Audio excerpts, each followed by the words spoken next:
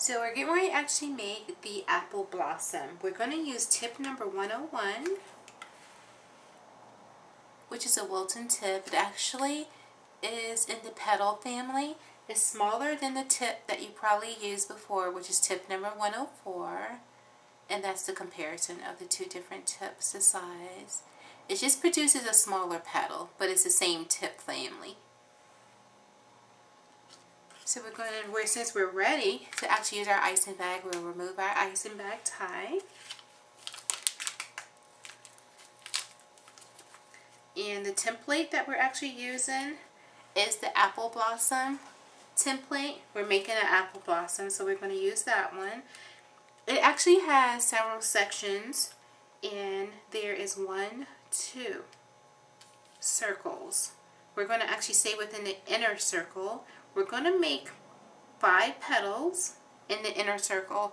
So we're going to start at the point, reach out a little bit, come back down, and form an actual triangle in form of a petal though. We're going to make sure that our actual bag is at a 45 degree angle.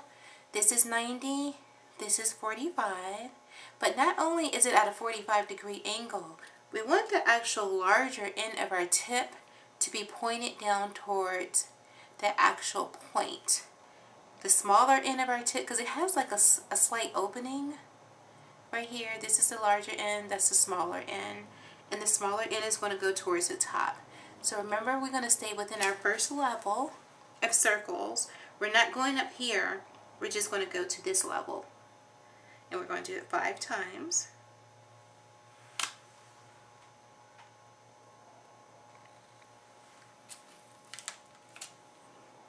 So we're going to start here, come back down and do this five times.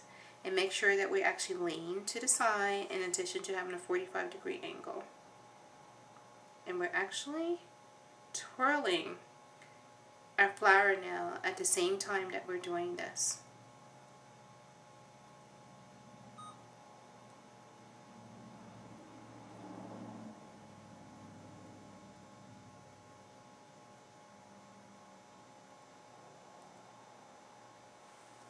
You see it leaves indentations. That is what our apple blossom looks like before we actually add the little stamens.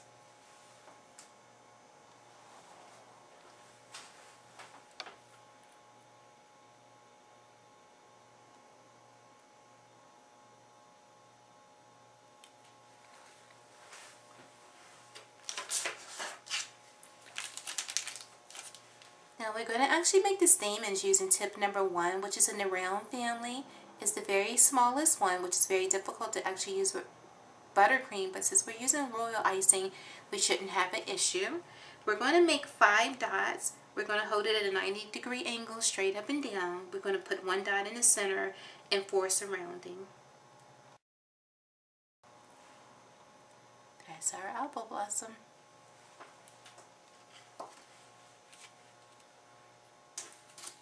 So let's do another, starting at the point, twirling, come back down,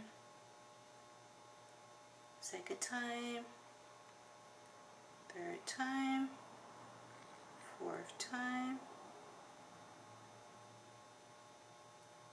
fifth time.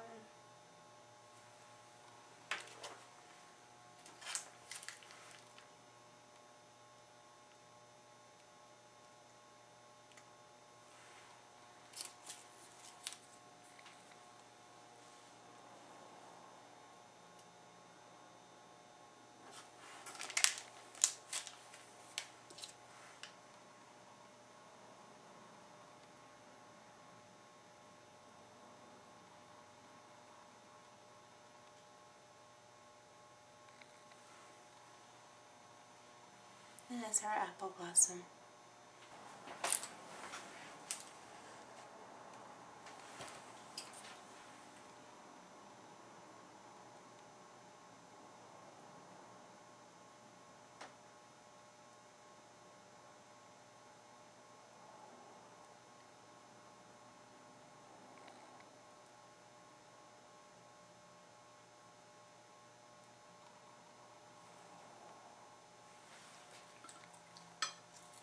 So that the actual dots won't run into this, I'm going to let it actually dry.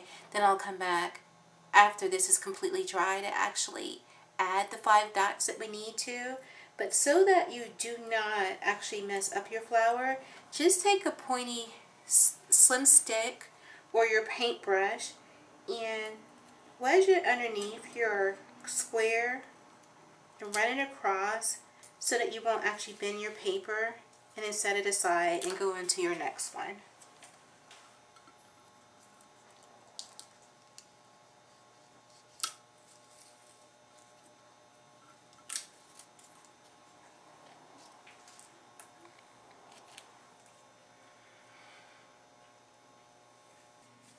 So we finish off our apple blossom by using tip number one and making five dots. We place one in the center and then four surrounding. And this was actually made with the thick royal icing. This was made with a thinner set of royal icing just so you can get an idea. It holds the shape a whole lot better. It flowed like color flow on the thinner side.